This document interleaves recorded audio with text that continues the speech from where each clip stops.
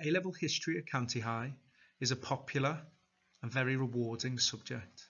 It's rewarding not only because historically we've achieved excellent results, but it's rewarding because our students find the subject really engaging, interesting, and it gives them not just a deep understanding of the societies and developments which they have to study about the past, but students comment upon how important their study of history has been in then helping them understand the world, in giving them powerful understanding which is relevant today. A-level history is divided into three components. Component one is Russia. You will study Tsarist and Communist Russia between 1855 and 1964. You'll study the reigns of Alexander II, Alexander III, and the last Tsar, the last Emperor of Russia, Nicholas II. You will study the revolutions of 1917, the Russian revolutions which brought down Tsar Nicholas II and Tsars absolutely, and which led to the communists coming to power. You'll then learn about how under Lenin, Stalin and Khrushchev Russia was transformed into a communist society.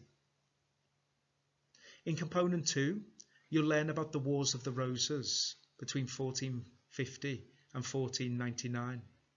You'll learn about the conflict between the Lancastrians and the Yorkists over the English throne. In component 3, you'll do a non-examined assessment or NEA which is an independent investigation of around a 100 year period. Although you technically have free choice on what you investigate, most students investigate Germany around the period 1848 to 1945 and we help students in terms of sourcing their resources and guide them in their investigations. As you can see from the information here, component 1 and component 2 make up 80% of the course and this part of the course is examined. These examinations are 2 hours 30 minutes in length and they both component 1 and component 2 will effectively get you to write three essays. This is very different to GCSE Whereas at GCSE you have lots of short answer questions and very little time to plan and think. Our students in A-level history always comment about how liberating, how enjoyable it is to be able to have the time and space to think and to argue and to write extended answers to questions which they genuinely have a view on, rather than jumping through hoops. That said, you can obviously see extended writing is a key part of the assessment and you need to ask yourself, is this one of your key skills? In the NEA, which only makes up 20%, you have to write a 4,500 word assignment. And although that on the outside appears to be uh, a long uh, piece of work, it's actually divided up into three parts and actually keeping under that word limit in your three parts will be one of your biggest challenges. Students who study A-level history have access to a wide range of career and higher education opportunities.